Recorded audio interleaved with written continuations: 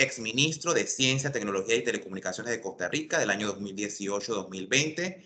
Y por último, es consultor internacional en temas de telecomunicaciones, transformación digital e innovación. Actualmente labora como consultor externo para la Agencia de Cooperación Alemana, Unión Internacional de, de Telecomunicaciones, BIT Washington DC y Fundación Conrad Adenauer Stiftung. Bienvenido, Luis Adrián. Muy buenos días a todos. agradezco la, invitación a quienes nos acompañan por diferentes eh, medios digitales. Ciertamente eh, hay un, un, tema y es que cada vez más estamos metidos en un mundo en donde la tecnología ha venido generando puntos de inflexión. Eh, y, dice eh, Cristiana Figueres en, su último libro, el, futuro por decidir, si más no me equivoco en el título, que no hay puntos de inflexión lineal, sino pues, son puntos de inflexión donde se da un hecho y, se dispara.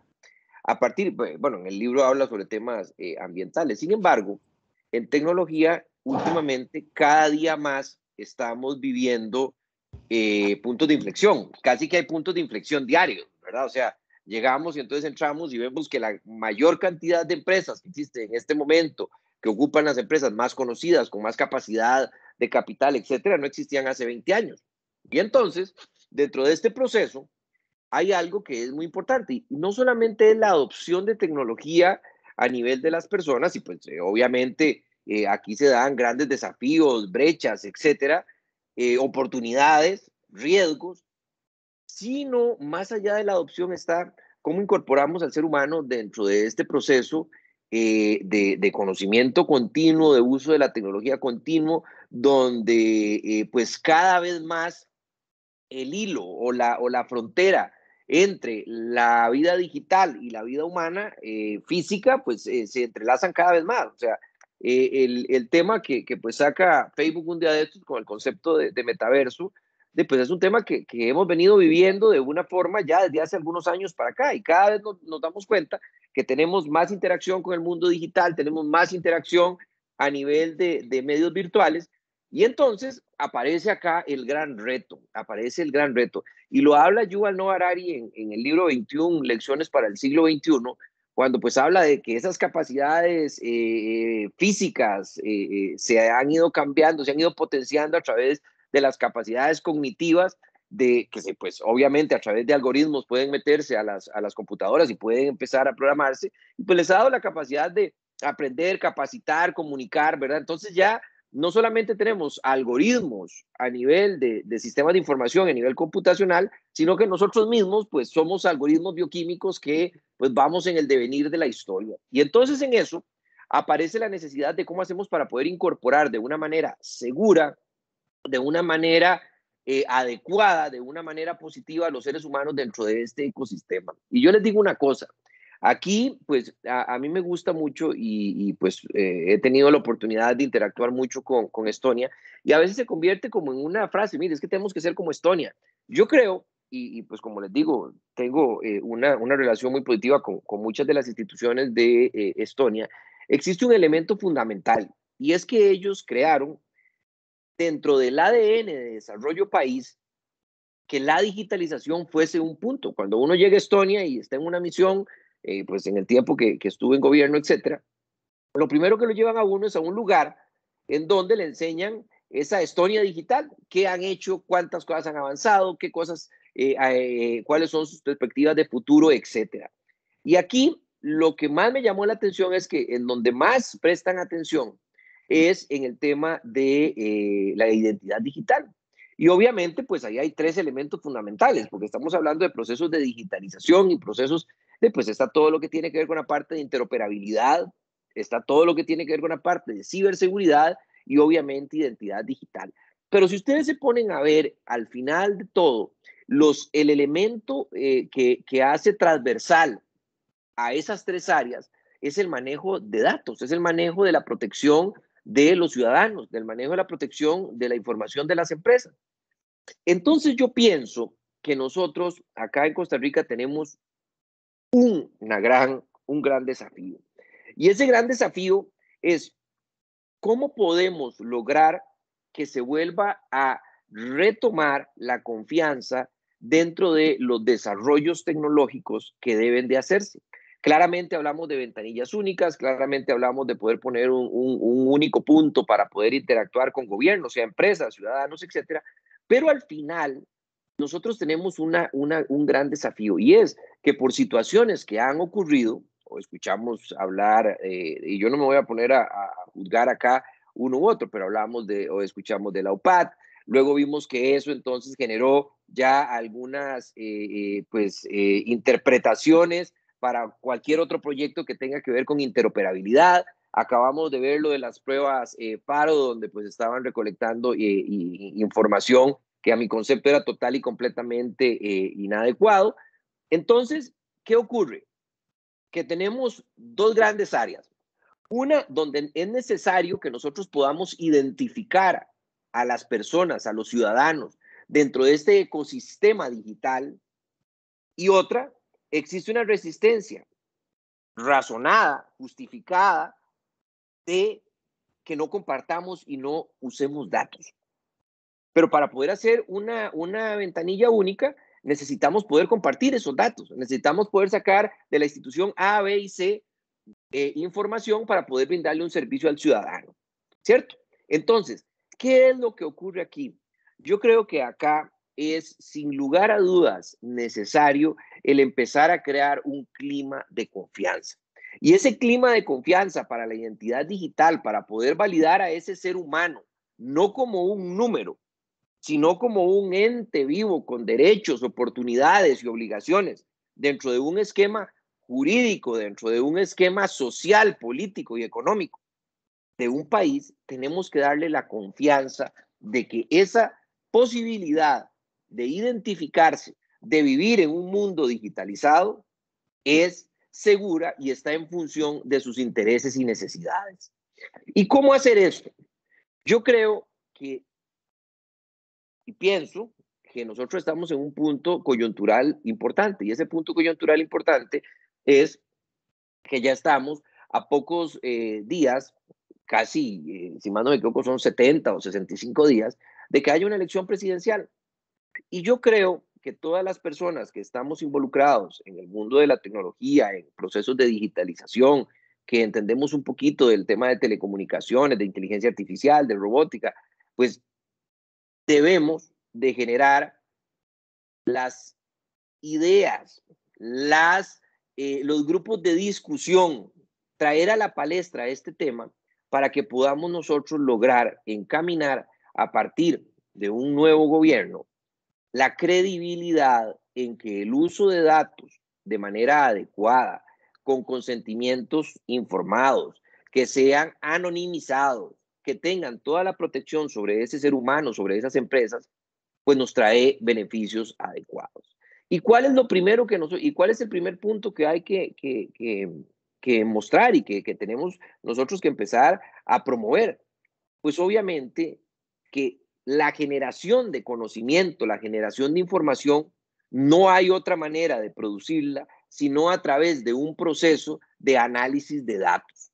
Y esos análisis de datos segregados, pues obviamente deben de generarse a partir de un modelo de, o un proceso en el cual pues las personas confíen, donde las personas estén total y completamente eh, eh, confiadas de que ese uso de información, de que ese uso de datos a través de algoritmos claros, que estén eh, eh, pues lo, suficientemente adecuados a las necesidades humanas y empresariales, pues le van a generar un rédito. Y obviamente que no exista la sensación de estar en un proceso de incertidumbre, de que para qué se están usando mis datos, de cuál va a ser el uso de mis datos, de cuáles son los riesgos que me expongo yo a dar datos. Y obviamente también aquí existe una conciencia de, cómo se hagan las cosas. Yo muchas veces les digo a mis alumnos en la universidad, digo, mire, eh, en, ocasiones nosotros hablamos que eh, nosotros estamos, eh, o sea, que cuando hablamos de identidad digital, tenemos cierta perspicacia porque ya nos decimos, ok, ¿cómo nos van a identificar? ¿Dónde se van a almacenar esos datos? ¿Cuáles son los elementos éticos para el manejo de esa información? Pero muchas ocasiones nosotros mismos damos información que no nos piden. Y yo les pongo un ejemplo, cuando nosotros estamos en la playa y entonces llegamos y nos tomamos y eh, posteamos en alguna red social la playa donde estamos, la hora en la que donde estamos, con quién estamos, etcétera, pues eso genera riesgos potenciales donde no nos están pidiendo la información, sino la estamos dando.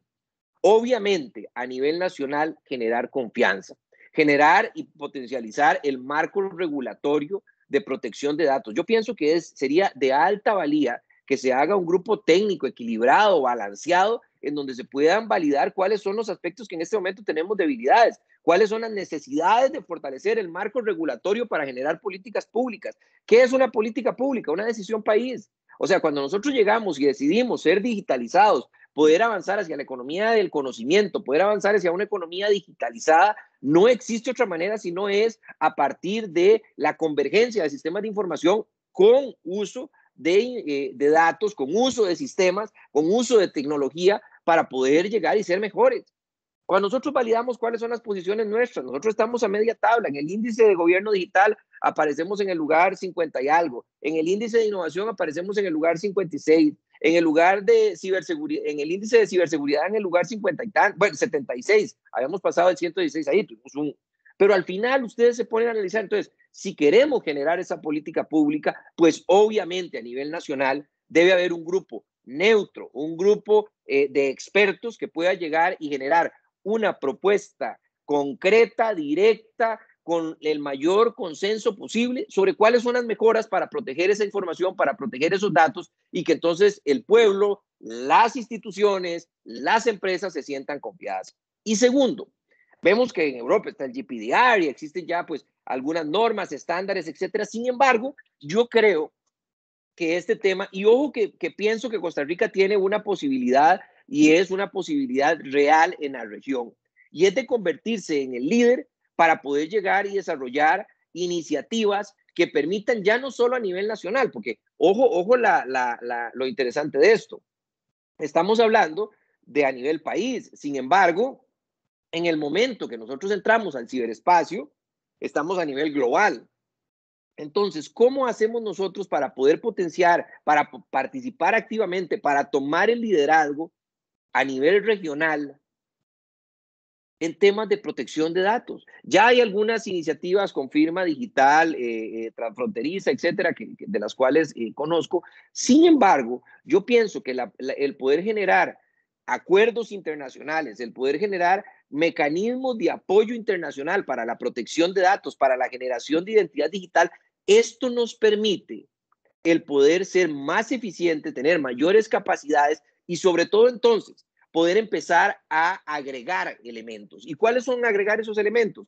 Tenemos el desarrollo y modernización del Estado a través de la digitalización, tenemos la posibilidad de generar más servicios, pero igualmente la posibilidad de tener mayores capacidades en cuanto a lo que es la producción a partir del talento. Porque ciertamente el talento, si, usted, si lo vemos, ¿cuál es el producto final del talento? Conocimiento. ¿Y cuál es eh, la formación de ese conocimiento? Información. ¿Y cuál es la, de dónde nace la información? De los datos. Entonces, desagregada de forma contraria, también desde el punto de vista económico y la capacidad de producción de emprendimientos, de eh, aumento de, de eh, micro y pequeña empresa, de internacionalización, pues obviamente nosotros requerimos tener un papel protagónico a nivel regional sobre los lineamientos y la protección y la colaboración que se dé entre los diferentes estados y los países. Entonces, validando estos, estos, estos temas, yo creo que sin lugar a dudas, dentro, y, cuando nosotros vemos, por ejemplo, los, los, los, ¿cómo se llama? Los principios de la OCDE de, de inteligencia artificial, lo vemos claramente. Yo creo que eso es un fiel reflejo en donde los eh, eh, lineamientos de protección de la información encajan. Ahí estamos hablando de lineamientos de la OCDE para inteligencia artificial. Pero vean ustedes y, nada más comparémoslos. Crecimiento inclusivo, desarrollo sostenible y bienestar, que esté centrado en el ser humano, que haya transparencia, que haya robustez y seguridad, que haya rendición de cuentas. Todos esos elementos de una manera convergente, potente, fuerte, estructurado, con un grupo de trabajo interinstitucional, pues yo creo que pueden venir a lograr dos cosas. El marco regulatorio adecuado para sentirnos protegidos y dos, la confianza de que es necesario que podamos nosotros compartir información de una manera segura, adecuada y normada para poder ofrecer mejores servicios a los ciudadanos y mejores oportunidades para su eh, desarrollo social, político y económico. Entonces, Yo creo que un evento como el que tenemos hoy, sin duda, nos permite el que todo ese flujo de información, todo ese flujo de datos, esa inteligencia artificial basada en el, en el, en el ser humano, esa gobernanza de la innovación, de conocimiento, esa alfabetización, esa inteligencia a nivel de ciudades, esa masificación de las diferentes redes, ahora vamos con el tema de, de 5G, pues son en beneficio de las personas y además de eso que podemos crear con grupos de discusión como el de hoy, con eh, eventos como el de hoy, la sostenibilidad conceptual y la fortaleza técnica y jurídica para poder nosotros avanzar en un mundo digitalizado en donde nos sentamos con una adecuada protección de nuestros derechos y garantías como personas, pero adicionalmente a eso, que nos permita el poder llegar y tener una exponenciación de la innovación, del conocimiento. Y eh, así es que, pues, en estos 15 minutos que gentilmente me han dado, este es el mensaje que, yo quisiera dar, pensando y, y reiterando en que sí podemos, en que tenemos que hacerlo juntos, en que es necesario que avancemos y que depende de este trabajo que estemos haciendo de manera conjunta a través de la generación de fuerzas, de generación de sinergias, de conocimiento, para crear ese marco robusto de desarrollo de identidad digital, está no solamente fundamentada el desarrollo digital, no, está fundamentado el desarrollo país. Y quien aspire a la presidencia de la República y no entienda esto, pues simple y sencillamente genera un nivel de incertidumbre en el desarrollo nacional muy complejo porque eh, ahora no es identidad digital solamente, ahora estamos hablando de ciberseguridad, ahora estamos hablando de inteligencia artificial, ahora estamos hablando de redes 5G, ahora estamos hablando de un mundo metido en el conocimiento y la digitalización. Muy buenos días y muchas gracias. Muchas gracias a ti, Luis Adrián. Excelente ponencia. Quiero darte las gracias por acompañarnos la mañana de hoy. Eh, quiero abrir el compás a las personas. Si tienen preguntas, pueden hacernos llegar a través del chat. De igual forma, pueden levantar su mano si quieren hacerla a, través de voz. Pero mientras esperamos esas preguntas que lleguen, yo sí quisiera hacer como una recapitulación de lo que nos ha podido conversar la mañana de hoy, que ha estado muy eh, de la mano con lo que menciona el estudio Centroamérica, eh, Identidad Digital en el Centro de América, que mencionaba al inicio. Luis Adrián nos ha dado una sugerencia y un llamado muy importante a la participación ciudadana. Yo creo que, eso es lo que, el dato con, que, con el más llamativo que pude escuchar, a poder entonces reunirse los distintos actores, hablar de datos personales, identidad digital, en pro de conseguir políticas públicas basadas en derechos humanos que mejoren la calidad de, la vida en Costa Rica.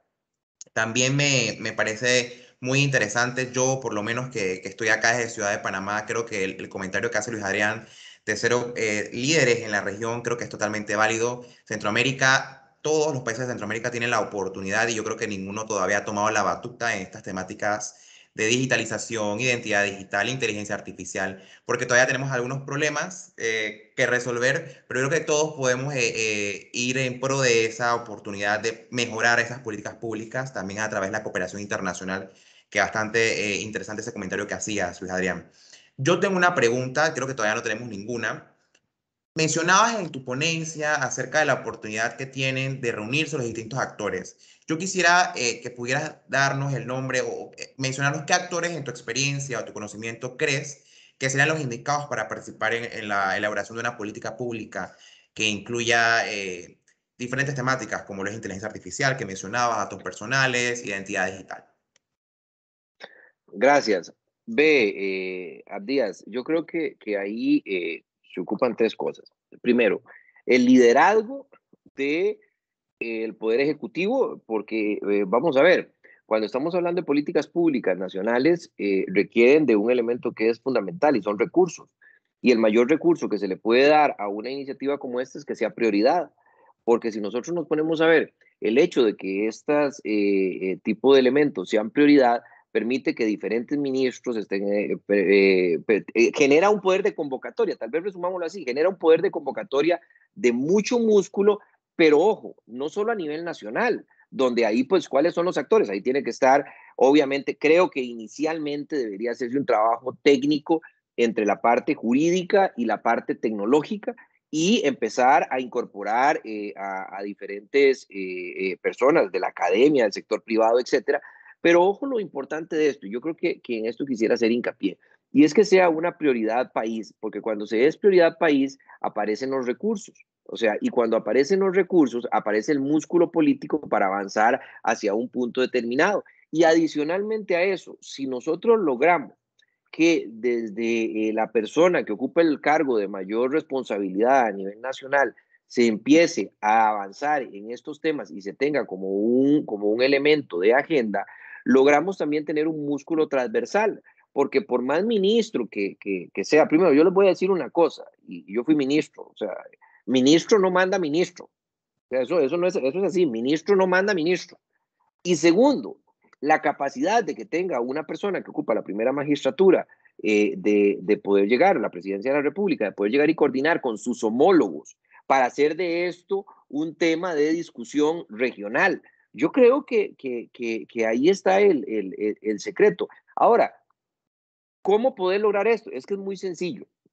Yo creo que en esto no es que eh, nos metemos o nos quedamos atrás. Yo creo que aquí ya la selección no va en ese orden. Aquí o tomamos esto como una prioridad o quedamos fuera. O sea, ya no es atrás, es que quedamos fuera.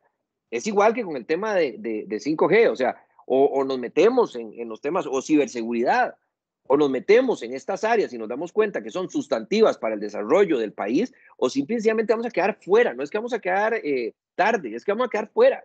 Antes existía que los procesos de adopción tecnológica, que los procesos de aceptación y de uso de la tecnología para diferentes eh, actividades políticas, sociales, económicas, pues uno podía dar tiempo, uno podía llegar y decir, o sea, si nos devolvemos 20 años, podíamos decir, bueno, vamos a digitalizar esto o no lo vamos a digitalizar ahora, lo vamos a digitalizar dentro de tres o cuatro años. Ya ese tiempo no existe. La capacidad de toma de decisiones es hoy. Y conste, hay un, libro que se llama El Mundo Orwell de Ángel Gómez de, Agreda, que habla de que, que sale a los 70 años de que salga el libro de George Orwell, ¿verdad? Pero resulta que habla del gran hermano, el Ministerio de la Verdad y toda esta cosa, pero resulta que una de sus frases dice que en muchas ocasiones el, el, futuro se convierte en pasado sin que nos demos cuenta que pasó por el presente. Y eso es así. O sea, en este instante, en muchas ocasiones, lo que nosotros vemos como futuro, ¿verdad? De un momento a otro se convirtió en pasado, porque va tan rápido el, desarrollo tecnológico y la, incorporación de la tecnología a diferentes áreas humanas que eh, no hay tiempo. Entonces, tomar decisiones, prioridad y un trabajo equilibrado técnico y jurídico.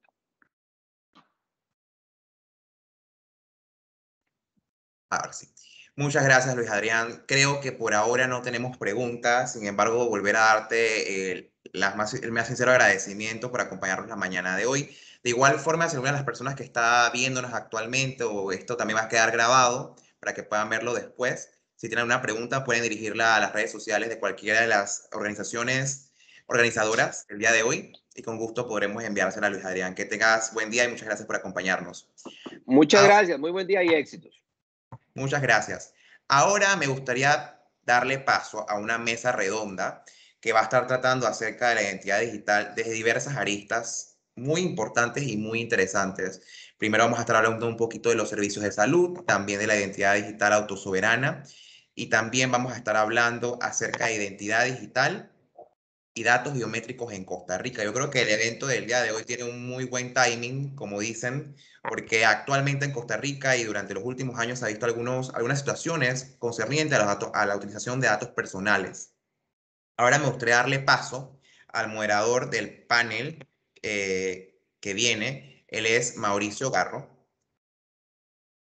Mauricio es máster en Empresa Internacional y Comercio Exterior por la Universidad de Barcelona y máster en Derecho de la Empresa por la Universidad Pompeu Fabra, España. Especialista en protección de datos, privacidad y arbitraje. Exdirector nacional de la Agencia de Protección de Datos consultor internacional en protección de datos y managing partner de la firma internacional Giro Martínez. Además de esto, es gestor del proyecto legislativo de reforma integral a la, Ley de Protección de Datos. Mauricio, bienvenido. Muy buenos días, días y todos los que nos acompañan el día de hoy de parte de, de ULACID, por quien vengo en representación y de mi persona personal individualmente. Muy agradecido por la invitación y creo que es un evento muy interesante donde contamos con excelentes expositores que nos van a, a colaborar hoy dándonos sus perspectivas y, y, sus puntos de vista sobre estos temas que has puntualizado anteriormente, Abdías. Voy a proceder a presentarlos brevemente a los, a los expositores que nos acompañan esta mañana, agradeciéndoles de antemano su presencia y las palabras que nos van a dar este, durante este tiempo que vamos a estar en el conversatorio. En primer lugar, mm,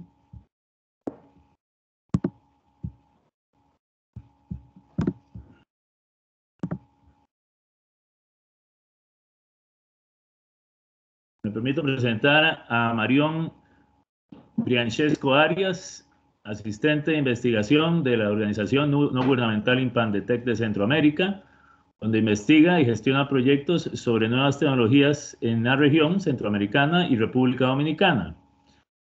Internacionalista por la Universidad Nacional y estudiante avanzada de comunicación colectiva con especialización en periodismo, miembro del capítulo de Liga Hackers de Costa Rica. Igualmente nos acompaña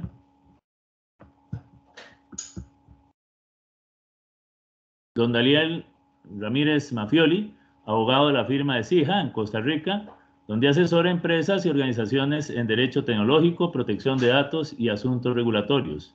Además, es director de la Fundación uh, Privacidad y Datos Privat, organización sin fines de lucro para la defensa y la promoción de una cultura de protección de datos en el entorno digital. Actualmente trabaja en una consultoría del BID para el diseño del marco orientador para el uso ético y responsable de la inteligencia artificial en el país, en Costa Rica. Igualmente tenemos a Mariela Pérez, licenciada en Derecho, máster en Derecho Económico con énfasis en Comercio Internacional y especialista en el Reglamento General de Protección de Datos, profesional con más de 10 años de experiencia en el campo del derecho a las tecnologías, ha ocupado diversos roles de en asesoría legal de la Caja Costarricense del Seguro Social relacionados con la gestión de infraestructura y tecnologías y actualmente desde hace cuatro años funge como asesora legal del proyecto Expediente Digital Único de Salud. Y finalmente nos acompaña también el máster Juan Esteban Durango Rabe, máster en ciberderecho de la Universidad Católica de Murcia, España, miembro de la Comisión de Derecho Informático del Colegio de Abogados y Abogadas de Costa Rica, capacitador, conferencista, egresado de esta universidad, la ULACID, y director del área de Derecho Digital en la firma CR Legal Studio. Con ellos vamos a, iniciar eh, la temática, las dos temáticas principales que vamos a tocar esta mañana, empezando por el tema eh, de la identidad digital en los servicios de salud. Para eso me gustaría empezar con, con Mariela, y preguntarte, Mariela, eh, en este sentido, ¿cuál es el entorno normativo en, que está sustentado el, el, o bueno, tal vez con Marión primero, tal vez con Marión para empezar por temas más generales. Eh, Marión, ¿cuáles son las particularidades de la identidad general en los servicios de salud? Muchas gracias, don Mauricio. Muy buenos días a todos y todas. De verdad es un gusto compartir en este panel. Ahí me disculpan que la jauría de perros del barrio está haciendo un escándalo, pero espero que se me entienda y se me escucha bien. En relación con la pregunta, bueno, algo que hablaba don Luis Adrián Salazar, ¿verdad? Es que la acelerada digitalización es algo que nos ha dejado la pandemia en distintos sectores, del cual el sector salud definitivamente no es la excepción, tanto en la sanidad pública como en la privada. Hablamos de telesalud, de las iniciativas para el manejo de la pandemia, como las aplicaciones móviles, ¿verdad? Para asistencia médica o el rastreo de casos de COVID, las llamadas Corona Apps. Hablamos de certificados digitales de, de vacunación, un amplio etcétera. Y creo que el común denominador de este tipo de tecnologías es que involucran identidad digital. Con excepción de algunas muy, muy pocas de esas aplicaciones que les mencionaba, estas iniciativas pues implican un proceso de identificación y autenticación del usuario y por supuesto en todo esto median nuestros datos personales, ¿verdad? Eso es la razón por la cual es tan importante siempre hablar del tema de, de privacidad y seguridad. Pero hay una particularidad y es que cuando hablamos de los datos personales vinculados a la salud, estamos hablando de datos calificados como sensibles, tanto en nuestra legislación y eso tiene una protección especial, al igual que la condición socioeconómica, las opiniones políticas, las convicciones religiosas, espirituales, orientación sexual, entre otros. ¿Por qué su carácter sensible? Bueno, se debe a esa incidencia que puede tener en las libertades fundamentales y que puede desembocar en cosas, casos como discriminación o riesgos para el titular de los datos, ¿verdad? En caso de un mal tratamiento. Por tanto, es que ninguna persona está obligada a suministrar estos datos. Y bueno, no solo en nuestra legislación tiene esa protección especial, no, no es que somos excepcionales en la materia. Los datos relativos a la salud son calificados como sensibles, por ejemplo, en el GDPR, el Reglamento General de Protección de Datos de la Unión Europea, en la Ley de Protección de Datos Personales de países como Panamá, México, países del Cono Sur, entre otros. En nuestra legislación, específicamente en la ley 8968, ¿verdad? que la ley de protección de la persona frente al tratamiento de sus datos personales, entre las excepciones al tratamiento de datos sensibles se encuentra la necesidad para el diagnóstico médico, gestión de servicios sanitarios, asistencia sanitaria, siempre que su tratamiento sea realizado pues, por funcionarios del área de salud, ¿verdad? Y con la debida proporcionalidad y sujeto al, al secreto profesional. Y aquí entra otro elemento que es bastante importante que tiene que ver con el consentimiento expreso, ¿verdad? En la ley 8968 pues hay una serie de, excepciones al consentimiento expreso, entre las cuales figura la existencia de una disposición legal y también a las excepciones a la autodeterminación informativa, ¿verdad? La autodeterminación informativa entendido como este derecho de toda persona a controlar el flujo de datos referentes pues a su vida privada se encuentra, por ejemplo, entre las excepciones, la adecuada prestación de servicios públicos. Esto de acuerdo con lo que menciona el reglamento de la ley. Y, por ejemplo, en el caso del expediente digital único en salud de la caja, ¿verdad? El reglamento de la ley en la cual se sustenta, dispone que los datos que recopile el EDU no requieren el consentimiento del titular o de su representante legal de acuerdo con la normativa que le enseñaré, pero además también se sustenta en la Ley General de Salud, la cual expresa que toda persona está obligada a suministrar de manera oportuna los datos que el funcionario de salud competente le solicite. Estoy segura que Mariela les proveerá muchísimos más detalles al respecto, pero sí quería hacer esa pequeña mención. Creo que otra de las particularidades y que hay que tomar muy en cuenta es el tema de la inclusión. Puede que una solución tecnológica no sea obligatoria como tal y no hay una obligatoriedad del uso de la identidad digital para acceder a ella. Sin embargo, si no hay alternativas o las hay, pero son limitadas, posiblemente las personas van a sentir una necesidad por adaptarse lo cual no siempre es tan viable, ¿verdad? Porque hay que, tomar en cuenta las limitaciones de exceso, incluso la brecha de alfabetización, entre otros múltiples motivos, así que de facto se convierten en, en obligatorias. Entonces, cuando hablamos de los servicios esenciales como la salud, esto es aún más delicado. Entonces, eso es como lo que me gustaría agregar y como les decía, estoy segura que Mariela va a agregar muchísimo más ya con respecto al caso específico de Leos. Excelente, muchísimas gracias Mario, muy, muy claro y una muy buena, muy buen resumen de cómo está distribuida nuestra ley de protección de datos el tema. Eh, bueno, Mariela, cuéntenos un poquito más de este tema. Y ahora sí, explíquenos quizá cuál es el marco normativo en que está sustentado el expediente digital, el EDUS. Y además también eh, consultarte eh, exactamente, digamos, en ese sentido que expresa la ley y el reglamento del EDUS sobre el tema de identificación identificación única, consentimiento expreso, integración de datos y transferencia de datos a organizaciones privadas. ¿Cómo podrías enmarcar todo esto a la luz de lo que, de lo que acaba de explicarnos Marión? Gracias, muchísimas gracias. Este, qué gusto estar con ustedes esta mañana. Bueno, eh, el EDUS es, es bueno, expediente digital único en salud es un tema que viene gestándose desde hace muchísimos años, incluso podríamos decir que antecede a su regulación, que, que es reciente, en realidad. Em, la ley 9162, que es la ley del expediente digital único en salud, es del 2013 y su reglamentación es del 2018.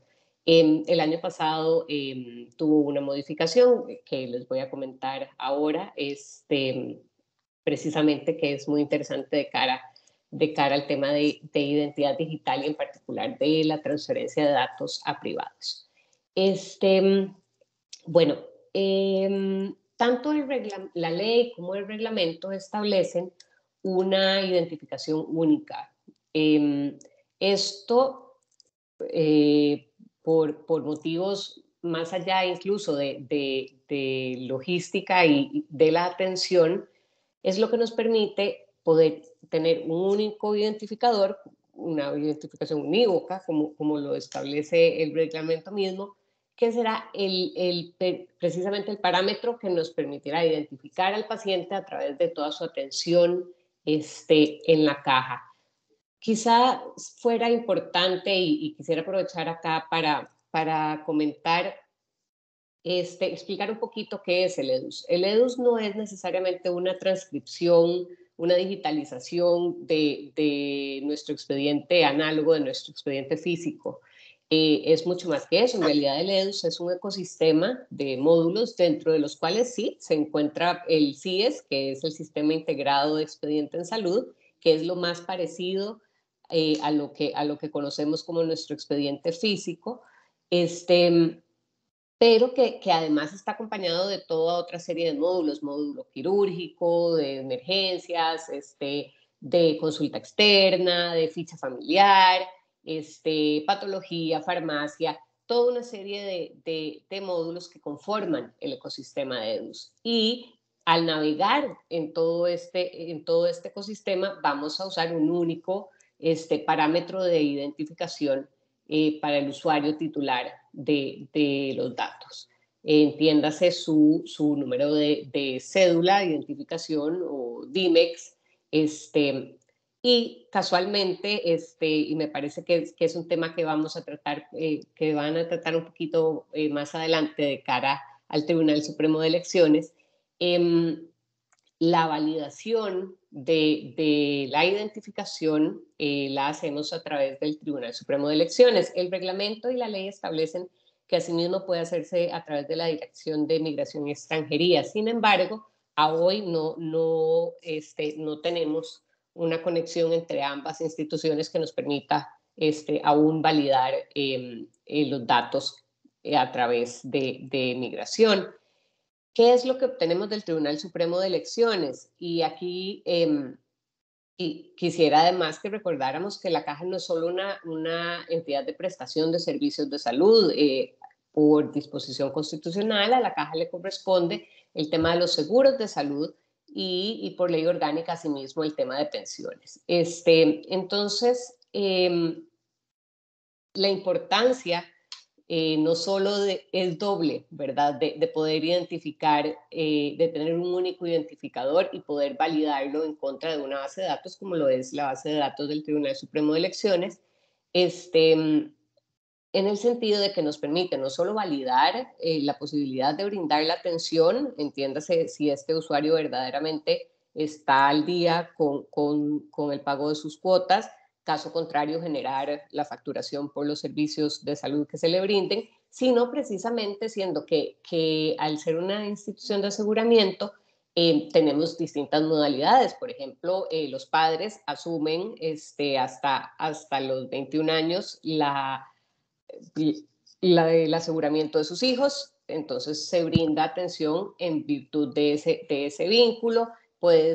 Puede uno tener asegurado a su cónyuge, este, a su pareja, em, a sus padres. Em, entonces es importante poder validar este, la existencia del vínculo y asimismo este, pues, validar si, si la persona se encuentra al día con, sus obligaciones con la caja. Entonces, em, existe un contrato, eh, pues, no es un contrato, es un convenio entre el Tribunal Supremo de Elecciones y la caja, el cual establece todas las condiciones bajo las cuales, incluso los mecanismos de seguridad que se utilizan para poder este, eh, obtener la información. Entiéndase, nosotros no entramos a la base de datos del Tribunal Supremo de Elecciones, evidentemente, sino que consultamos este, y se genera eh, la información eh, la jala el identificador y, es el único acceso que tenemos eh, en ese sentido. Entonces, pues eso es un poco em, el tema de, identificación única y unívoca dentro, dentro, del, dentro del expediente. Em, con respecto al tema del consentimiento expreso, verdaderamente ya Marión se, se refirió con, con, detalle, en efecto, eh, por reglamento eh, debe de mediar consentimiento expreso por parte del titular, eh, expreso, libre, este, inequívoco, informado, ¿verdad? Como, como conocemos. este, salvo que, exista alguna disposición en, ley especial que establezca lo contrario, o bien las excepciones que, ya Mariona ha, ha, indicado que existen en, en la ley 8968. Este, respecto, me preguntaba sobre la integración de datos, ¿cierto? Mm. Bueno, em, los, como les comentaba, eh, dentro del ecosistema EDUS eh, debe ser posible que todas las atenciones estén visibles de forma inmediata dentro del expediente. ¿Qué quiere decir? Que si, veámoslo dentro de un mismo establecimiento, yo entré por emergencias, lo que se le haga al paciente en emergencias tiene que estar de inmediato disponible para cuando el paciente pase a sala, para el módulo quirúrgico, cuando el paciente pase a salón, este, eh, incluso posteriormente cuando, cuando le atendamos en consulta externa post cirugía. Entonces, esto es, esto quiere decir que, que los datos del paciente deben, deben de estar, debe, ser posible que, que, el personal clínico, que es quien tiene acceso a estos datos, eh, pueda accederlos en cualquier momento y en cualquier punto de la atención del paciente. Em, este, de nuevo, con, con, una única identificación, que es el número de cédula, o en el caso de que, de que el paciente no tenga eh, su documento, sea absolutamente necesaria su atención, que sé yo, el paciente llegó inconsciente y no tiene su, sus documentos, se le asigna un número temporal de identificación que es interno, este, y de nuevo enfatizo el tema de temporal, es un número que debe desaparecer en el momento en que podamos este, asignar un número de identificación al, al paciente. Y finalmente, eh, respecto a la transferencia de, datos eh, hacia organizaciones privadas, este, bueno, es, es, es un tema que, que, que, casualmente causó un poco, un poco de, susto el año pasado. Eh, ya de todas formas estaba normado este, dentro del reglamento la posibilidad de transferir este, eh, los datos irrestrictos em, cuando por disposición legal este, así, así se estableciera. Y en el caso de los datos sensibles, sí que eh, para hacer la transferencia hacia, hacia organizaciones privadas se requiere el consentimiento del titular eh, de los datos. Este, y pareciera acá como que estamos hablando un poquito de portabilidad de los datos, ¿verdad?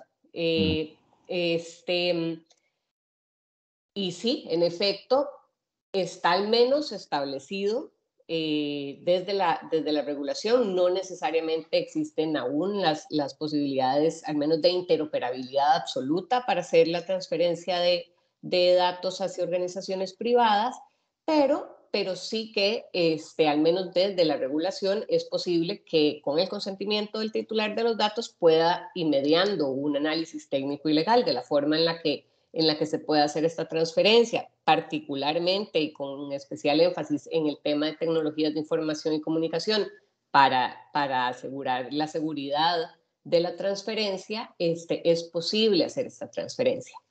El año pasado, en virtud de la pandemia, eh, se agregó el artículo 29 bis al reglamento. El artículo 29 bis eh, permite eh, no transferencia de los datos, pero sí el acceso al expediente por parte de terceros, entiéndase terceros igualmente personal clínico, habilitado únicamente por un decreto de emergencia.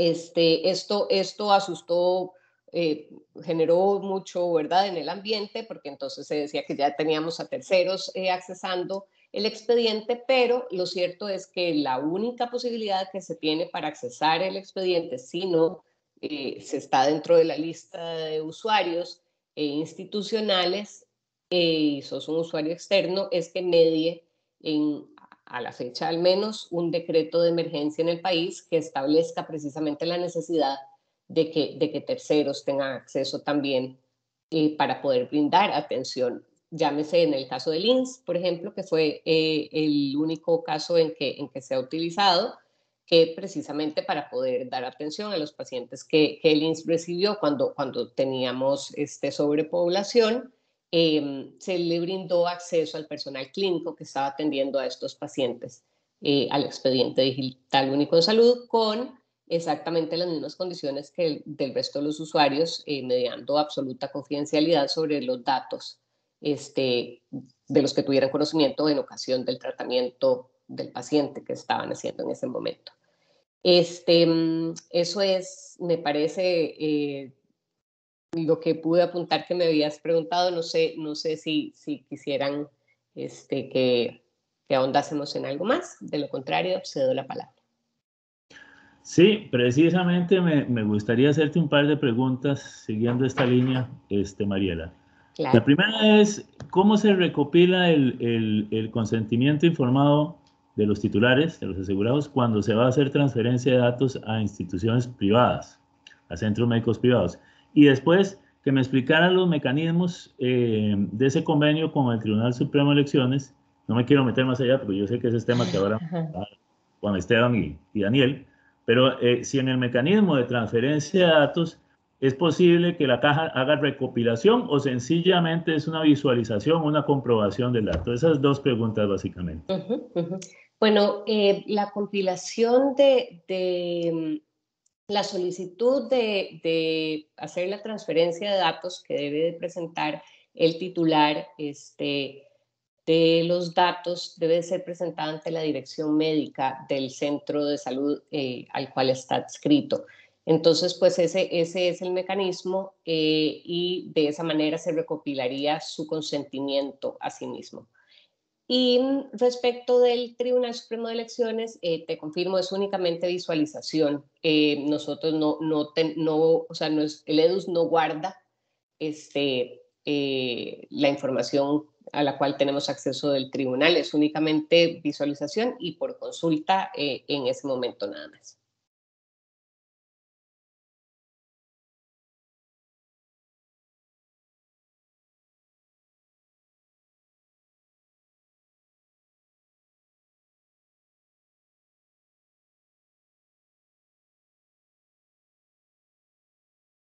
¿Sí me escucharon? Sí, te escuchamos. No sé qué es. Okay, ah, está Mauricio. No sé, Mauricio, si es. Mauricio. O lo perdimos. Ya, aquí, aquí estoy, perdón. Ah, okay.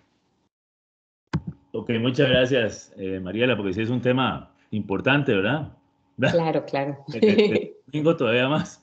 Este, Bien, pero eh, ahora me gustaría ceder la palabra a los, a los otros dos miembros del panel por si tienen alguna consulta este, que hacer respecto de este tema de la identidad digital en los servicios de salud, lo que expuso Marión y Mariela. Eh, no sé, Daniel, si, si tenés algún, alguna consulta, alguna opinión que dar sobre este tema. No, me, me parece que podría reservarme la Mauricio, tal vez para el final, para hacer unas conclusiones, pero me parece que la presentación de Marión eh, y, y, de Mariela excelente y, y muy clara. Muchas gracias. Don Juan Esteban. Sí, igual no, no tengo preguntas del tema. Bueno, muy bien. Excelente las dos exposiciones y muy, muy claras. Muchas gracias. Bueno, vamos, vamos al, al, al, otro tema que queríamos tocar, que era propiamente este, identidad digital y datos biométricos propiamente en Costa Rica, ¿verdad? Y para eso, este, pues vamos a nuevamente a, a seguir la misma dinámica, solo que iniciando este, con nuestros otros dos expositores. Y en ese sentido, eh, don Daniel, el Tribunal Supremo de Elecciones ha implementado a partir de este año un sistema de reconocimiento facial para identificar a los ciudadanos. También presta un servicio comercial de verificación de identidad, el famoso BIT, del que se aprovechan o podrían aprovecharse en algún sentido empresas privadas. ¿Cuál es su opinión sobre este tema y qué riesgos puede implicar eh, este, este tipo de, de, de, de, procesos de tratamiento de datos? Muchas gracias, Mauricio.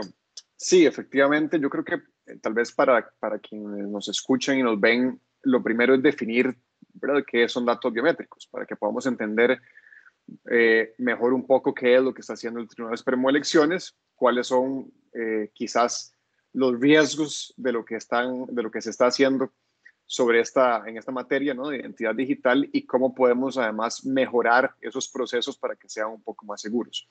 Datos biométricos, según eh, la definición internacional, porque en Costa Rica no tenemos actualmente eh, una definición clara de datos biométricos, son básicamente datos relativos a las características físicas o fisiológicas o de conducta de una persona que permiten identificarla, ¿verdad? Únicamente, diferenciarla de cualquier otra persona y son datos que se obtienen normalmente a partir de un tratamiento técnico de esas características físicas. Entonces, los ejemplos clásicos para, para ilustrar qué es un dato biométrico son, por ejemplo, las huellas dactilares, ¿no? que normalmente se obtienen a partir de una lectura de, de la huella en sí y eso se recopila, digamos, de manera digital. Lo mismo sucede con el reconocimiento facial, ¿no? Mediante un tratamiento técnico de la imagen de nuestro rostro, se obtiene una especie de mapa digital, podríamos decir, de nuestro rostro que es única eh, eh, y exclusiva de, nuestro rostro. ¿no? La característica esencial de estos datos biométricos es pues, que son datos sensibles, al menos eso, así lo legisla o así lo regula la mayoría de normativa internacional. ¿Y por qué son datos sensibles? Bueno, porque al final de cuentas el cuerpo humano es lo más íntimo, lo más propio que tenemos, ¿no? y por ende se le da una categoría especial de protección en virtud de que esos datos en las manos equivocadas se prestaría para muchísimos abusos y violaciones de otro tipo, no solo de la privacidad, de la intimidad, por supuesto, sino también incluso de otros principios y derechos fundamentales de las personas. Entonces, aclarado el concepto un poco de datos biométricos, podemos pasar al tema del, de este sistema AVIS o sistema de reconocimiento facial, que desde noviembre del año pasado anunció el Tribunal Supremo de Elecciones. Este sistema, eh, a grandes rasgos, el, el, ABIS, como se denomina, ABIS, es un sistema automatizado de identificación biométrica, que básicamente es un sistema de reconocimiento facial que efectúa una lectura de las características de nuestro rostro cada vez que vamos a, a renovar o a sacar la cédula. Ahora el tribunal no solo va a obtener la, huella dactilar, ¿no? los datos de nuestra huella, los datos dactiloscópicos de nuestras 10 huellas. Antes eran, me parece, 3 o 4, ahora van a ser 10, es decir, la de los 10 dedos de nuestras manos. Y además de eso, ya no solo se van a captar esos datos, sino que mediante un tratamiento técnico de nuestra fotografía del rostro, se van a obtener eh, datos biométricos. Em, entonces, ¿qué implica esto? Bueno, que ahora el tribunal va a custodiar no solo los datos que ya por sí custodia sobre nuestra fecha de nacimiento, quiénes son nuestros padres, nombre, apellido, número de cédula, domicilio, fecha de nacimiento, todo lo que ya sabemos que el tribunal maneja sobre nosotros, sino que también ahora el tribunal va a tener almacenado en sus bases de datos, eh, valga la redundancia, datos biométricos de nuestro rostro. Ahora, eh, más allá de los, de los riesgos que eso en sí mismo pueda involucrar, quisiera vincularlo con eh, la segunda parte de tu pregunta, que es la del servicio de verificación de identidad. Y también para quienes nos escuchan, para que lo puedan eh, comprender mejor, el servicio de verificación de identidad o BID que presta el Tribunal Supremo de Elecciones es un servicio comercial, no es un servicio público, que presta el tribunal a instituciones públicas o incluso a empresas privadas o establecimientos. ¿Para qué? Para que puedan verificar la identidad de sus clientes o de los ciudadanos de forma, en principio, en teoría, más segura, de manera que no baste con la presentación de la cédula, sino también que se pueda hacer un cotejo entre los datos que arroja, por ejemplo, la lectura de nuestras huellas en ese establecimiento o en esa institución, con los que almacena el tribunal en sus bases de datos. Entonces, por eso se le denomina verificación de identidad. De hecho, incluso empresas como Raxa comercializan ese servicio eh, para empresas, ¿no? Para que puedan entonces, por ejemplo, si uno va a entrar a un bar y comprobar que usted tiene 18 años de edad, entonces póngame la, huella dactilar aquí para yo cotejarla con la base de datos del, del Tribunal Supremo de Elecciones. Y eso es básicamente, en forma muy resumida y muy simplificada, en lo que consiste este servicio de verificación de identidad. Entonces, ahora agreguemos a este servicio que normalmente se venía prestando únicamente con la huella dactilar, agreguemos ahora el reconocimiento facial, porque como les decía antes, con el AVIS, con el sistema automatizado de identificación biométrica, ahora el tribunal va a tener también nuestros datos biométricos del el rostro, lo cual va a implicar que empresas privadas también puedan ahora hacernos reconocimiento facial previo a entrar a algún lugar o incluso ante instituciones de gobierno, hacernos un reconocimiento facial y cotejar esos datos del mapa digital de nuestro rostro con los datos que están almacenados también en, eh, en el Tribunal Supremo de Elecciones. Entonces, eh, ¿qué, hay de riesgo y oportunidad? Perdón, ¿qué, hay de riesgo más que todo este en este tipo de servicios. Lo primero es que, en mi opinión, el Tribunal Supremo de Elecciones está realmente lucrando, porque es así, ellos cobran un precio por prestar ese servicio de verificación de identidad. Entonces el tribunal está lucrando y explotando nuestros datos personales sensibles. Y así lo digo porque así es. Eh, hay una norma del Código Electoral que establece la posibilidad de, brindar estos servicios de, verificación de identidad, que a mi criterio personal es una norma que es abiertamente inconstitucional, pero aún y cuando no lo fuera, la misma norma, en mi opinión, establece claramente, y por aquí lo he anotado para poder leérselos textualmente, la misma norma dice en el artículo 24 que la información que suministre el tribunal deberá respetar el principio de autodeterminación informativa, por lo que no podrá suministrar información de carácter confidencial. Eh, para no eh, extenderme mucho en la pregunta y poder seguir hacia la segunda ronda de preguntas y reservarme algunos de los temas para esa segunda ronda, lo que yo quiero adelantar es que en Costa Rica estamos, o las, principalmente las instituciones públicas, estamos llevando a cabo proyectos, en este caso vinculados con identidad digital, de manera muy improvisada. Eh, y, lo que, y más, que, más que improvisada, quizás la, crítica constructiva que quisiera hacer yo en esta, en esta charla es sin ningún tipo de socialización. Eh, y eso es lo que más me preocupa, porque entonces eh, partimos de que hay una norma por ahí que me autoriza y eso me es suficiente. Y en mi opinión, cuando estamos hablando de datos personales, de autodeterminación informativa y al final de cuentas de derechos fundamentales, además de todos los casos que ya hemos visto y que han sucedido en los últimos años, parece que es lógico que invitemos a la ciudadanía a opinar sobre estos temas, que construyamos proyectos e iniciativas suficientemente socializados para que para evitar entonces eh, proyectos chambones que al final terminen, digamos, afectando a las personas en su intimidad, en su vida privada y generando además lo que decía muy bien Luis Adrián al inicio, una falta de credibilidad y de confianza en la población que al final lo que va a causar es que la ciudadanía esté reacia a la introducción de estos mecanismos de identidad digital, por ejemplo, que en realidad sí nos simplifican la vida. En realidad todos queremos poder meternos a Internet y poder hacer un trámite en línea, identificarnos en línea y no tener que mover un pie de nuestras casas. Yo creo que todos queremos eso.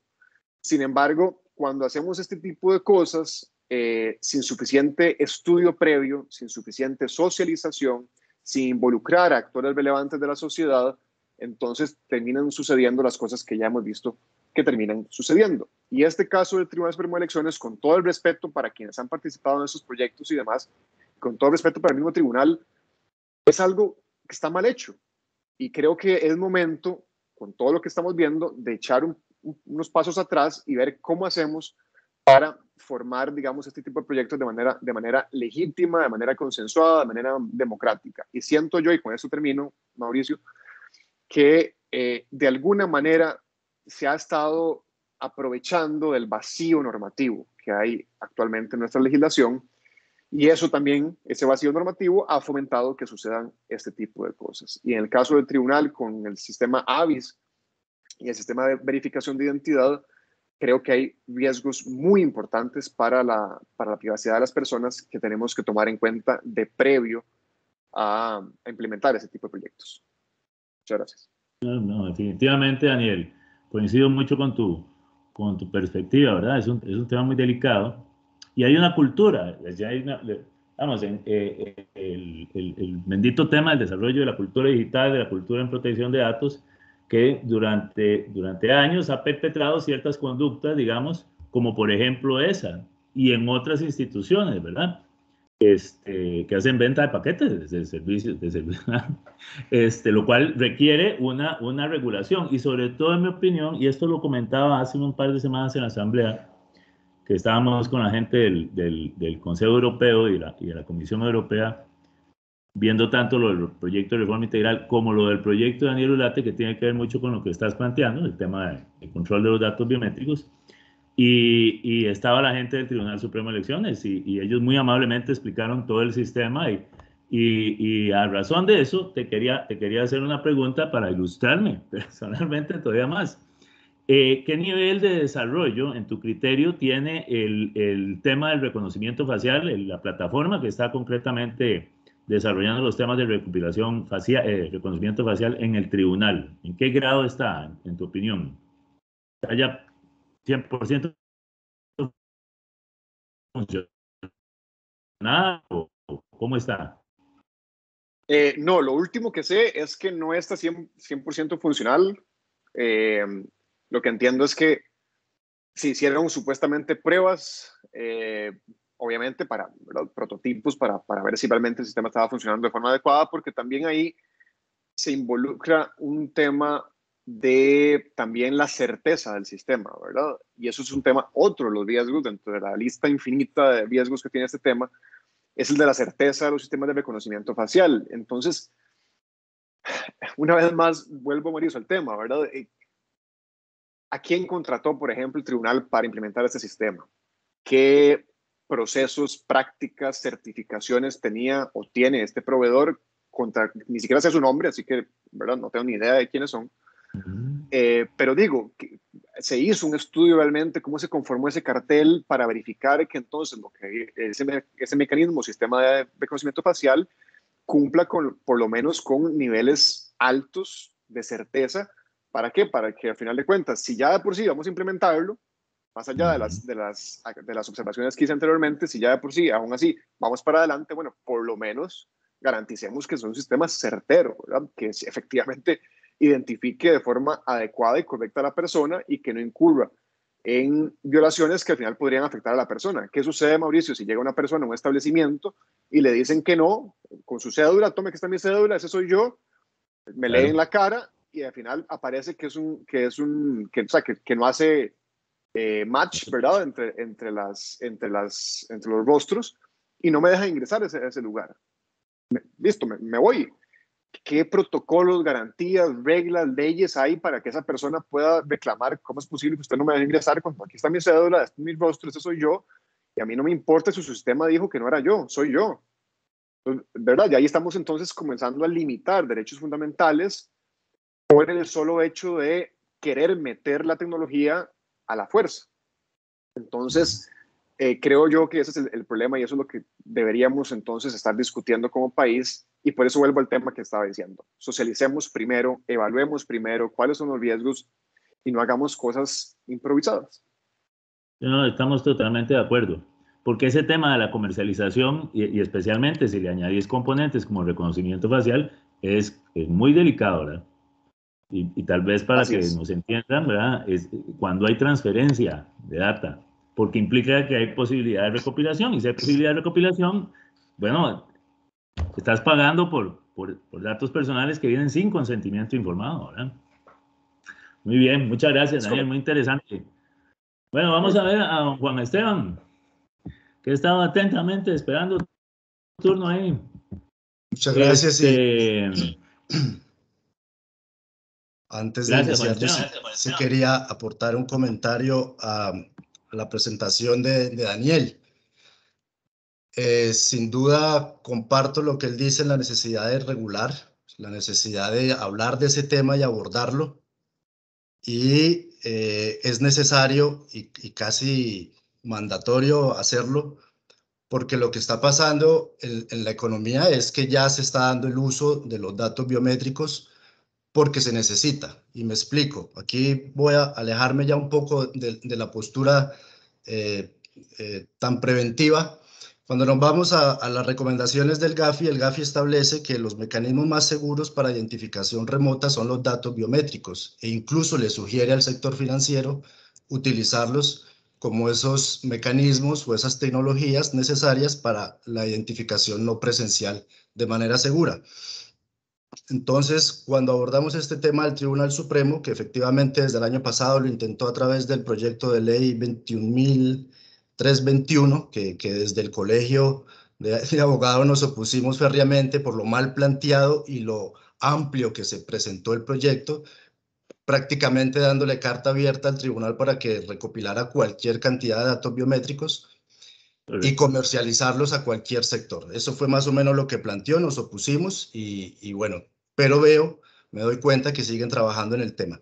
Aquí el punto es, o lo que yo quiero eh, presentar es que eh, es preferible que el tribunal haga esa, funcione como ese, eh, esa institución central de verificación de, identidad no presencial, a dejarle eso a, a, empresas privadas, como por ejemplo lo están haciendo actualmente en México, donde por ley incluso facultaron a los bancos para que recopilaran bases de datos biométricas de sus clientes. Quiere decir que un cliente que tenga tres cuentas bancarias en tres diferentes bancos en México, cada banco va a tener datos biométricos de ese cliente con los respectivos riesgos que eso conlleva. Pasándonos a Costa Rica, pues si el tribunal va a ser ese garante como institución pública e institución facultada para garantizar la identificación de los costarricenses, pues sí considero pertinente que sea esa institución la que eh, tenga sus datos biométricos, obviamente con todos los precauciones que ha indicado eh, Daniel en el sentido de exigirle vía legal unas, eh, unos estándares, unas características, unas responsabilidades en el tratamiento de esos datos, porque sí hay sectores en la economía que requieren esos mecanismos de identificación. El sector salud, el sector financiero, en los procesos de conozca a su cliente, requieren de esos datos biométricos para seguir siendo, sobre todo el sector financiero, seguir siendo competitivos y, seguir eh, ofreciendo mecanismos no presenciales eh, para, pues, sus clientes como tal.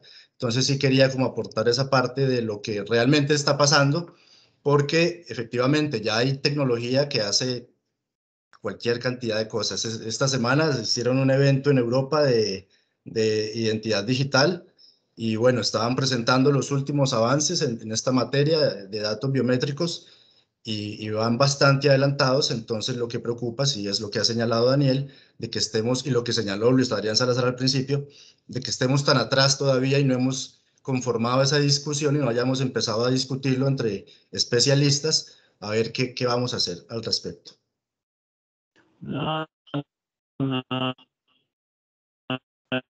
Por eso decía que el, problema, es decir, hay servicios que, que, deben, en mi opinión, ¿verdad? hay servicios que tienen que prestarse y que es mejor que los preste directamente una, una entidad estatal que no permitirle al sector privado que sea quien realice ese tratamiento, esa recopilación de data, pues entonces sencillamente el mercado negro, para decirlo muy claramente, se, se vuelve todavía más este, poco controlable de lo que ya es, ¿verdad? Este, muy bien, excelente. No voy a meter en mala cuchara, perdón. vamos, a, vamos a proceder con la, con, con, con pregunta, precisamente, este, don Juan Esteban. Eh, a ver, ¿qué, ¿qué, es la identidad eh, digital autosoberana? ¿En, Costa Rica es posible implementarla? Ok, perfecto. ¿Y en qué escenarios se podría desarrollar este, e, ese, ese modelo? Ok. Aquí sí advertir y a, la, audiencia que nos acompaña que aquí voy a cambiar el chip completamente de lo que hemos venido discutiendo. La, identidad digital autosoberana es un concepto muy reciente eh, que está en pleno desarrollo, que todavía no ha logrado concretarse bien. Son más aspiraciones que, existen en cuanto a este concepto. Entonces, em, por eso digo yo que voy a cambiar como todo el panorama de lo que hemos estado discutiendo. Para eso hay que irme, tengo que irme a unos antecedentes de Internet que voy a reseñar brevemente, y es que eh, cuando nace Internet y se da el crecimiento de Internet en los 80s y en los 90s, se concibe o se conforma con un pequeño error.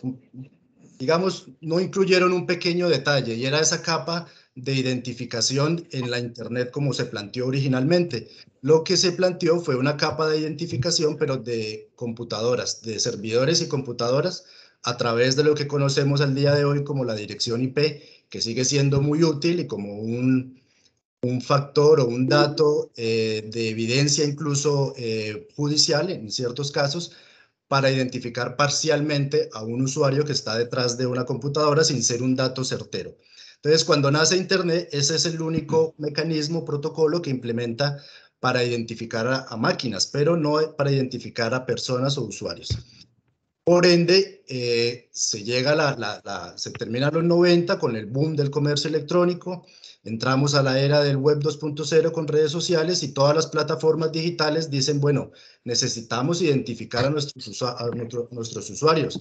Cada uno entonces, por aparte, comienza a implementar mecanismos de identificación y de autenticación. Eso es lo que se conoce como una identidad centralizada, que al día de hoy es la que, eh, eh, digamos, domina la, la, la interacción por Internet. ¿Qué es una identidad centralizada? Es cuando hay una sola, un solo gestor de la identidad de manera centralizada que dispone cómo va a construir esa identidad digital, con qué datos y que le permite a esa persona autenticarse en su plataforma o en otras. ¿sí?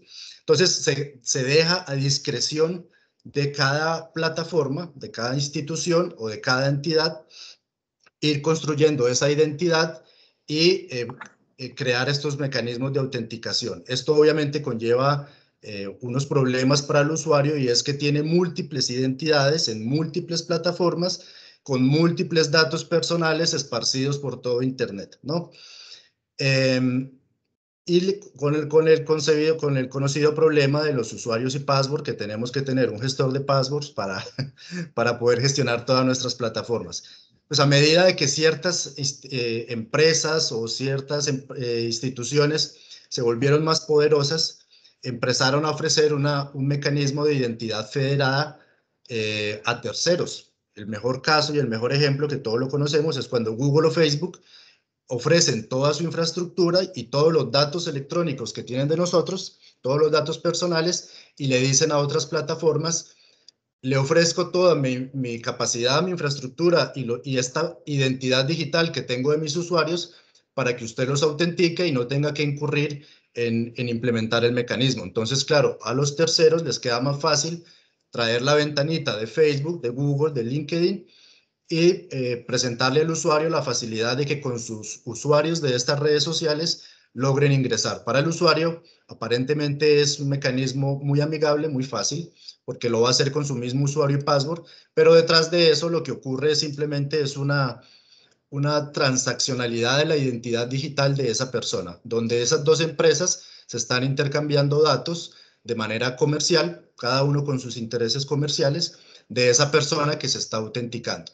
Pues ya en el 2012, entonces, las ciertos activistas de la comunidad cripto plantean un escenario donde dicen esto no puede seguir pasando, no podemos seguir dándole el poder a que ciertos terceros y ciertas plataformas sigan gestionando nuestras identidades. Y plantean un escenario entonces, en el 2012, donde eh, la autoridad de esa identificación sea el mismo individuo, es decir, donde sea el individuo esa fuente soberana. Aquí voy a empezar a hablar ya de conceptos muy filosóficos que nos, no se han aterrizado tecnológicamente, pero es lo que se plantea. Entonces, donde lo que, lo que proponen estas personas, estos activistas, es que la persona sea esa fuente de su identificación donde no exista una autoridad central que lo identifique, sino que su identificación o su identidad se vaya construyendo a través de atributos que vayan emitiendo las, las otras partes con las que interactúa en, en Internet o en su contexto online, ¿no?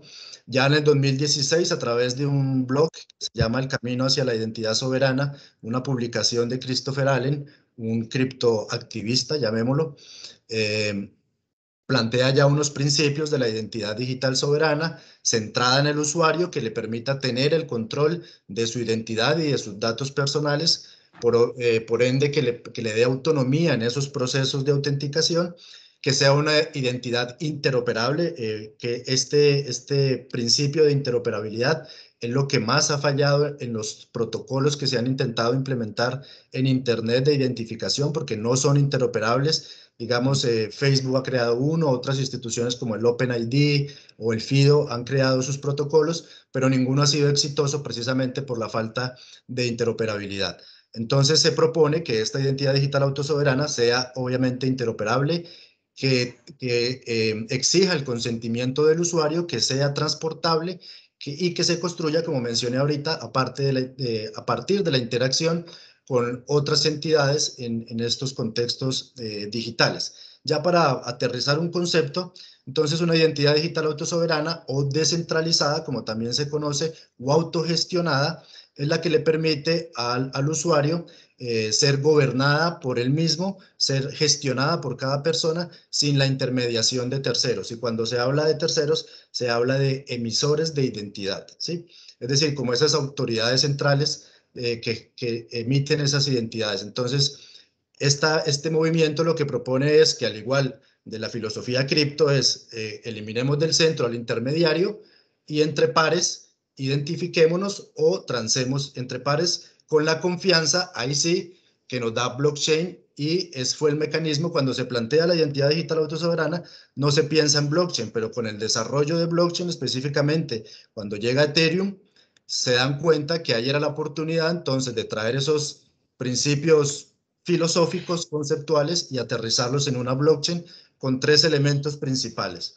La cartera digital o el monedero o la aplicación eh, la blockchain como tal, como esa plataforma que da certeza y prueba de verdad, y la emisión de atributos y credenciales verificables o certificables a través eh, de, una, de una blockchain. Entonces aquí voy a, a, presentar algunos o a explicar algunos casos de uso para seguir respondiendo.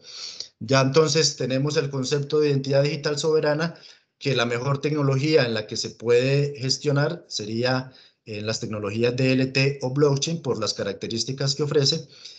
Y por ejemplo, eh, ya hay proyectos piloto que están en, marcha, que ya están funcionando. Por ejemplo, en Argentina hay un proyecto donde en un barrio, eh, ciertas, en un barrio de escasos recursos, que las personas no califican por su perfil crediticio a obtener, eh, a, a, obtener estos, estas calificaciones crediticias para las entidades financieras reguladas, lo que está haciendo una fundación es creándoles una identidad digital autosoberana donde cada cual tiene una aplicación, cada, cada vecino, y va recopilando ciertas eh, credenciales o atributos de eh, instituciones con las que interactúan, ¿no? Con la alcaldía, con entidades que hacen microcréditos, que les ofrecen microcréditos, con la municipalidad que emite una credencial, por ejemplo, verificable de la dirección donde vive, porque es uno de los mayores problemas de que no puedan demostrar fehacientemente a una entidad financiera regulada de dónde es que, eh, dónde es que viven o de dónde reciben ingresos. Entonces yo extrapolo ese, ese, este ejemplo y se me ocurre, por ejemplo, llevarlo a la feria del agricultor, ¿sí? donde quizás muchos agricultores por su informalidad no califican para obtener créditos eh, por, por, por todos los requisitos que piden las entidades financieras. Entonces, cada agricultor podría tener una wallet. Esa wallet está asociada a su identidad oficial a través de un proceso de onboarding, de reconocimiento biométrico, precisamente donde a través de un selfie se hace una comparación con su cédula y valida la, la, identificación de esa persona. Ya tiene entonces una llave pública en una blockchain, es decir, una, eh, una identificación dentro de esa blockchain y entonces a esa llave pública o a esa identificación de esa persona se van a empezar a asociar ciertos atributos o, em, eh, o credenciales verificables. Por ejemplo, la municipalidad le podría emitir a ese agricultor una certificación, una credencial verificable de que cada ocho días le alquila un puesto en la, en la feria de Zapote, ¿sí? Y que ya lleva dos años o tres años eh, pagándole mensualmente o no sé, o, siendo parte de esa actividad económica dentro de esta, de esta feria del agricultor. Eso ya es un atributo y una credencial de una fuente confiable. Otra podría ser la empresa de transporte que contrata de jueves a domingo para eh, llevar todo los, el producto a la feria donde, donde hace su actividad comercial y esta empresa de transporte podría emitir otra credencial verificable en una blockchain y ya con esos eh, atributos que va recopilando, eh, se va identificando en su contexto y podría haber un tercer participante que sería una fintech que ofrezca eh, microcréditos y que no requiera quizás someterse a, a las imposiciones de las entidades reguladoras financieras y de esta forma comienza a gestarse un ecosistema que va a generar inclusión social y financiera en algún otro sector. Y ya para llevarlo a un nivel más macro, un mecanismo de estos en Costa Rica también se podría presentar con el cumplimiento de la política Conozca su cliente, donde sea una institución central la que realice esta, este proceso de Conozca su cliente, emita una credencial verificable y le evite al consumidor financiero tener que ir por todas las entidades donde quiere afiliarse haciendo un, el KYC eh, y dejando sus datos personales en cada entidad, sino que ya con ese código QR eh, se estaría eh, identificando o estaría presentando su credencial ante los bancos que ya él cumplió con este proceso, con esta política de conozca a su cliente. Esto entre otros ejemplos que, se puede, que podría explicarles. Hay otros, universidades, etcétera. Excelente, Juan Esteban, muy interesante. Este, no voy a seguir con mis preguntas pues, porque ya se nos está empezando a ir el tiempo, pero em, bueno, ya comentaste algo, pero, pero digamos, ¿qué, qué primeros pasos, qué, por dónde crees que se podría instruir esta modalidad acá en Costa Rica? Bueno, para los que crean que este modelo todavía está muy, muy crudo y, y muy idealista, pues ya Europa le, está metiendo el, diente fuerte al asunto, lo está regulando en el próximo eh, reglamento EIDAS 2. Ya en junio presentó la primer, el primer borrador de propuesta y para responder puntualmente a Mauricio, lo que hay que hacer es empezar a darle efectos jurídicos a estas tecnologías y a estos modelos de identificación, como Europa muy bien lo está haciendo a través de un grupo de expertos, eh, como lo planteó Luis Adrián al principio, que son necesarios para ir creando todo este conocimiento.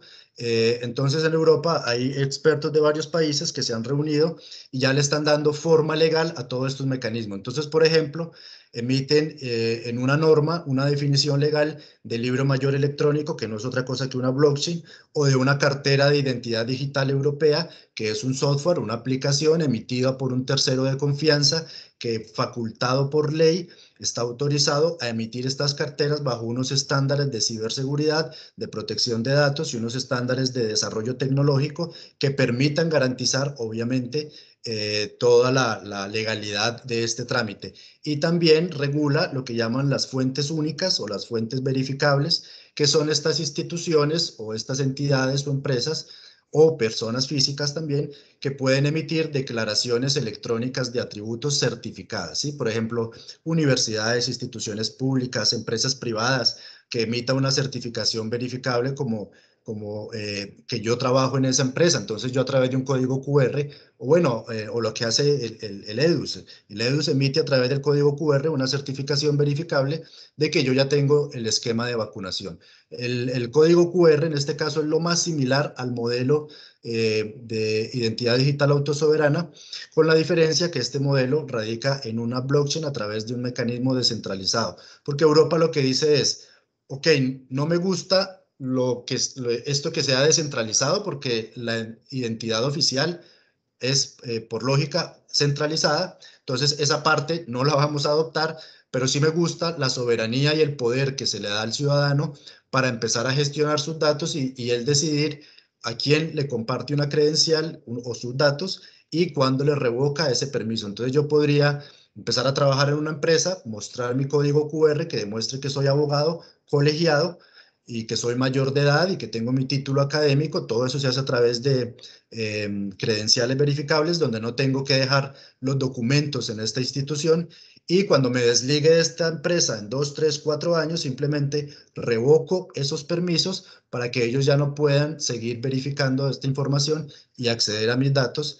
Esto pues en un gran resumen que les hago, pero esto da para tres, cuatro horas de, de buena charla. Muy, muy, muy interesante el tema. Esteban, muchas gracias. Este, bueno, vamos a, a, ver, ya se nos, se nos, está acabando el tiempo, pero me gustaría em, hacer como una especie de segunda ronda de preguntas. Eh, tal vez ahora sí, si, para respetar, digamos, el orden de la, de la exposición, si en relación, por ejemplo, con, con, identidad digital en servicios de salud, este, tanto Juan Esteban como, como Daniel quisieran hacer alguna intervención o consulta de lo que expusieron este, eh, Marión y Mariela. Bueno, no sé si. Sí, sí, adelante, Juan. Eh, sí, quizás a mí de, lo, de, lo, positivo que he visto en el proceso es que decidieron adoptar eh, el reglamento europeo de, de, certificados y pasaportes COVID. y lo digo porque y, y, creo Mauricio París alguna vez lo explicó en un artículo que escribió en La República, y es que ellos en eso han sido muy ordenados y lo tienen muy claro y, van hacia su objetivo, que es el, mercado único digital para Europa, y lo hacen a través de grupos de trabajo muy juiciosos, muy disciplinados, que van estudiando cada materia, ¿no? Entonces, eh, ellos al emitir estas regulaciones prácticamente nos están permitiendo pegarnos de ahí y aprender de lo que ellos están haciendo y economizarnos un montón de trabajo. Entonces sí, eh, en ese sentido el código QR, eso me gustó. Igual me, me sigue preocupando eh, eso de que yo llamo eh, la privacidad por confianza, es decir, que, que, si ellos dicen que debemos confiar porque no hay recopilación de datos, simplemente debemos confiar porque no hay mecanismos quizás para poder verificar eso. Me gustaría más transparencia tecnológica, aunque sé de los riesgos que implica darle transparencia ya a la tecnología como tal, por, por, obvias razones. Pero bueno, eso sería como el, único comentario que tendría eh, al respecto, eh, respecto a la parte de identificación de, en salud, o lo que se ha visto recientemente. Sí, y yo, yo tengo que coincidir con vos, Juan Esteban. Efectivamente, la implementación del certificado COVID digital, y esto es importante que la gente lo sepa, sigue precisamente un reglamento de la Unión Europea, emitido el, el 14 de junio del 935, este, y todo el sistema está implementado eh, eh, en el ámbito, digamos, de, lo que hoy por hoy, en, materia de protección de datos, es reglariamente lo más eh, estricto y lo más evolucionado que hay, ¿verdad? Entonces, yo coincido totalmente en, que ese modelo que se buscó es preferentemente más satisfactorio para garantizar a nosotros, que además nos permite convalidar, digamos, eh, el certificado con Europa, ¿verdad? Y otros países, Panamá creo que ya también lo, lo tiene operativo. Don Daniel. sí. Quiero interrumpir nada más por, sí, adelante, de, de, tiempo. Disculpen que los interrumpan. Lastimosamente vamos a tener que dejarlo hasta aquí, ya que tenemos más de 15 minutos atrasados con, con el tiempo que teníamos planificado para el panel. Quiero dar las gracias a cada uno de ustedes por acompañarnos en la mañana de hoy. También quiero preguntarle a las personas que nos estén bien, observando si tienen alguna pregunta, algún comentario, son, es totalmente bienvenido. Yo para ir cerrando, quiero darle la palabra a Marión. Marión, si quieras hablarnos del estudio rápido en menos de un minuto para poder entonces concluir la mañana del día de hoy. Buenos días, me la deja difícil en un minuto, pero quiero rescatar algo que, que, me llamó mucho la atención, una palabra que utilizó Daniel, y es que a veces son soluciones chambonas. ¿sí? Me, me, hizo mucha gracia que utilizara esta palabra porque sí, a veces son como esas tecnosoluciones, ¿verdad? Que no están como bien sustentadas. Y sí quería mencionar algunos ejemplos, por ejemplo, de, este estudio de identidad eh, de caretas digitales que lanzamos en IPANTEC se identificaron tres sistemas de identidad digital utilizados durante la pandemia. Uno fue Alerta Guate de Guatemala, la Protégete de Panamá y en Costa Rica la aplicación de LEDU, ¿verdad? Que como acá probablemente todos sepamos no es nueva, no fue diseñada exclusivamente para seguimiento COVID, como por ejemplo en los otros países, pero sí tuvo adaptaciones como el semáforo de riesgo personal, donde se respondía algunas preguntas para conocer el riesgo de contagio, etcétera. Hubo hallazgos bastante interesantes, pero me gustaría destacar algunos como en materia pues, normativa, ¿verdad? Primero, y es que no hay un marco legal específico sobre identidad digital en estos tres países. En el caso de Panamá y Costa Rica, lo que hay es una ley sobre protección de datos personales, pero no figura este término de identidad digital. En el caso de Guatemala ni siquiera hay una ley de protección de datos personales, no obstante la, la, Constitución sí reconoce el derecho a la autodeterminación informativa. Pero lo que quiero rescatar con esto es que en todo caso, por ejemplo, la ley costarricense pues ya tiene sus años y cada día estamos quedándonos más atrás y consideramos también los avances en la digitalización, desde que fue diseñada, aprobada y hasta ahora. Y con respecto a Panamá, este año entró en vigencia la ley de protección de datos personales y algo bastante interesante que quería rescatar es que a través de la Dirección de Participación Ciudadana fue presentada una iniciativa de ley sobre identidad digital interoperable omnicanal. Entonces, como hemos mencionado en todo el panel, ¿verdad? Qué importante es esto cuando ya se empieza a involucrar a la ciudadanía, aunque aquí no fue tanto que se involucró a la ciudadanía, sino fue una iniciativa ciudadana como tal, pero qué importante es cuando ya hablamos de identidad digital, pues que sea algo multisectorial, ¿verdad? Que involucren a la academia, al sector este, público, el sector privado, etcétera, etcétera. Y creo que por eso también rescato la importancia de este panel que pues estamos aquí organizaciones de la sociedad civil, eh, también qué bueno que tuvimos representación de, la caja, ¿verdad? Por parte de Mariela y también de la academia, entonces creo que el debate debe seguir por ahí, es algo que va a seguir emergiendo y por tanto es tan importante tener ese tipo de conversaciones. Muchas gracias, Marión. Ahora me gustaría darle la oportunidad a Mariela para que diera en un minuto también, o menos, eh, sus conclusiones al panel del día de hoy.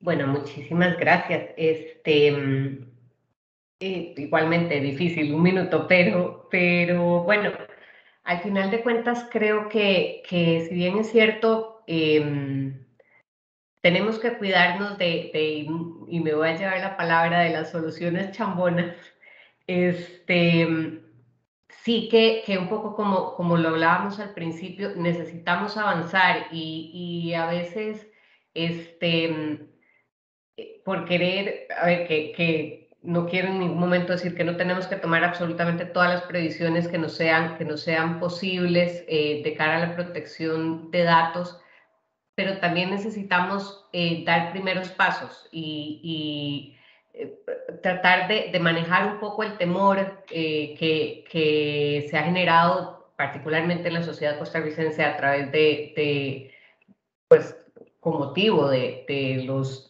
acontecimientos por todos conocidos, ¿verdad? Este, del tratamiento de datos y que no sea esto eh, lo que nos impida eh, seguir, seguir trabajando este, y pues en soluciones que redunden precisamente en lo que, en lo que hablaban ustedes ahora. O sea, ya el, identificarnos en línea nos, nos es tan orgánico que, que verdaderamente todo lo demás debiera de seguir ese curso y, y, siempre tratando de tomar las mayores previsiones del caso, pero tenemos que tratar de, de romper esquemas y seguir adelante. Este, y, la, y, el, y, el, hacer nos va a ir dando ciertamente el, el cómo y nos va a permitir eh, apuntar este, y corregir lo que, lo que sea necesario también de camino. Muchas gracias. Muchas gracias, Mariela, a ti por acompañarnos la mañana de hoy. Quiero darle la palabra a Daniel, también en el minuto. Gracias, Abdías. Eh, sí, efectivamente, a ver, yo quiero dejar claro que eh, es absolutamente esencial utilizar datos en el siglo XXI para generar política pública, para generar beneficios para la sociedad, en este caso para que también las personas puedan acceder eh, al entorno digital y a servicios digitales, tanto privados como públicos, eh, en línea, y es esencial y todos queremos eso. Eh, sin embargo, insisto, yo lo único que quiero es que hagamos las cosas bien, que, que tengamos en pie, ¿verdad?, normas que nos protejan realmente y que permitan, pues, construir estos proyectos de manera, de manera segura. Si vemos, por ejemplo, la auditoría que hizo la Contraloría, el MISIT, con el tema de identidad digital, lo primero que les dice es, perdón, pero es que el Tribunal Supremo de Elecciones tiene, una, iniciativa por acá y ustedes otra por allá. Entonces, ¿qué, ¿qué, es lo que está pasando, verdad? Entonces, bueno, ahí otra vez es un ejemplo evidente de improvisación y de falta de comunicación, que no hay socialización. El tema de identidad digital que está promoviendo el MISIT no sabemos en qué consiste, ¿no? yo no sé en qué consiste, no se ha publicado nada al respecto, es lo hacemos aquí a espaldas, vamos a hacer nuestro proyecto y tomen, después se publica y es, esto es lo que hay. Si les gusta bien, si no les gusta también, esto es lo que hay, punto. Eso es lo que yo insisto, eh, que no debería ser así. Y lo, y lo decía muy bien eh, Juan Esteban, en la Unión Europea estas cosas se hacen y se avanzan porque se hacen bien, porque se hacen consensuados, se hacen con expertos, con todos los, los actores involucrados. Eso es lo que marca la diferencia. Muchas gracias. Muchas gracias, Daniel, por tus últimas palabras del panel día de hoy. Ahora me gustaría pasar con el último invitado, el, el doctor Durango. Muchas gracias y definitivamente son, la tecnología va tan rápido, los servicios que se ofrecen en, los mercados son, son tan innovadores, van tan rápido que nosotros eh, nos cuesta estar al día en materia legal. Nosotros me refiero a los abogados que estamos eh, trabajando en la calle, ahora a un gobierno o, a un Estado como tal, es muy complejo. Eh, deben haber grupos, en mi opinión, permanentes de estudio de estos temas con influencia en, los sectores regulatorios, donde existan eh, participantes de diferentes sectores para poder tomarle el pulso y llevarle el pulso a todos estos cambios, porque o, lo hacemos de una manera organizada o hay otros que lo van a hacer por nosotros al criterio de ellos y bajo los principios éticos, morales y los valores de, de ellos. Entonces, sí debemos tener mucho cuidado en eso y quiero pues, eh, cerrar con, con, ese comentario. Quiero entonces eh, darte las gracias, Juan, por acompañarnos la mañana de hoy. Yo antes de, de, dar por terminado, yo quiero ya para concluir mencionar que efectivamente estamos viviendo una era de digitalización, una era de datos hay una frase que a mí siempre me que, contextualiza todo esto y es que el que tiene los datos tiene el poder.